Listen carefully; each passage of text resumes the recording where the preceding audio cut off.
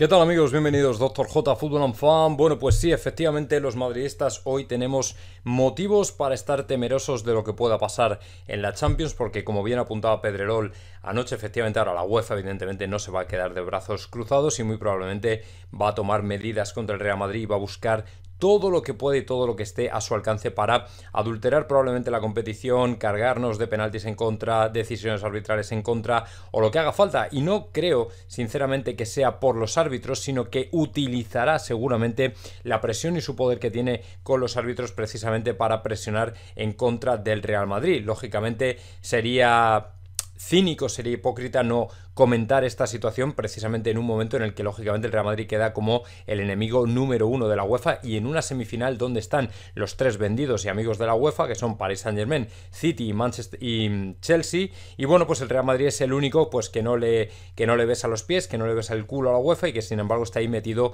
en semifinales. Lógicamente tenemos que temer, tenemos motivos para temer, tenemos motivos para estar alerta porque lógicamente, hombre, dentro de que el fútbol lógicamente un partido lo ven millones de personas y tampoco pueden llevar a cabo pues sus tropelías, lógicamente como cuando lo hacen eh, pues eso, por debajo de la mesa, en despachos, entregando sobres de dinero y cosas de este tipo, lógicamente no es lo mismo, puesto que es un partido de fútbol que ven millones de personas y no pueden ser muy descarados, pero desde luego el Real Madrid tiene a día de hoy motivos muy serios para temer a lo que pueda llevar a cabo la UEFA en esta semifinal de Champions, desde intentar echarle de la edición, de la competición, como intentar perjudicarle a base de decisiones arbitrales con tal de que no vayamos adelante en el campeonato y no vayamos adelante en el torneo. Es una situación crítica, es una situación en la que nos la hemos jugado todo